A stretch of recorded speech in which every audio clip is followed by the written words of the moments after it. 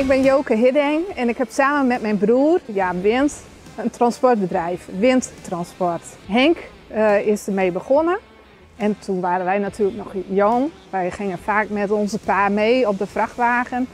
En uh, nou, hij deed eigenlijk voornamelijk losgestart. En dan kreeg hij zelf ook opdrachtgevers in dat werk.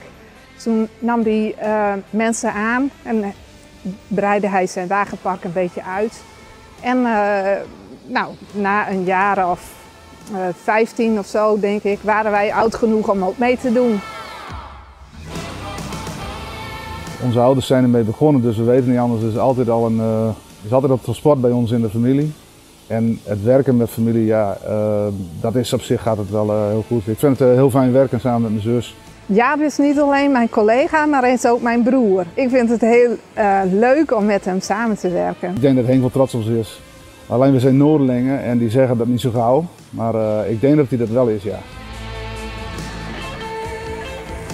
De combinatie, deze, de combinatie waar we het over, dit is onze LZV, dit is onze paradepaadje. Deze LZV is twee jaar terug gebouwd in samenwerking met Scania en Knapen. Uh, hij is goed voor 150 kub losgestort vanaf Zweden naar Nederland. En er kunnen 52 pallets naar Denemarken of Zweden toe. Ik ben Hallo en ik ben chauffeur op deze auto. We zien hier een Scania S500. Kijk, de lamperij heb ik naar mijn eigen smaak op laten zetten en ik heb uh, van binnen het interieur wat aan laten passen. Naar mijn smaak, wat ik mooi vind. Maar ik vind het gewoon een hele mooie auto en uh, van binnen is het helemaal afgewerkt en hij rijdt ook gewoon goed. En qua uitstraling vind ik uh, Scania de mooiste auto die er is. Ik vind het aan mij ligt zou ik niet van Scania af willen stappen, nee. De nieuwste Scania die we hebben gekocht is dit jaar in maart afgeleverd. Dat is een uh, Scania R410 LNG bakwagen.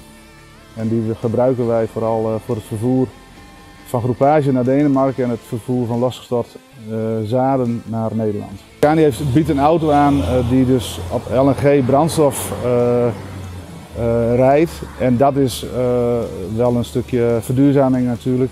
Daarnaast hebben we heel veel goede contacten met Scania. Ook voor een eventuele volgende investering zullen we zeker met Scania om de tafel gaan.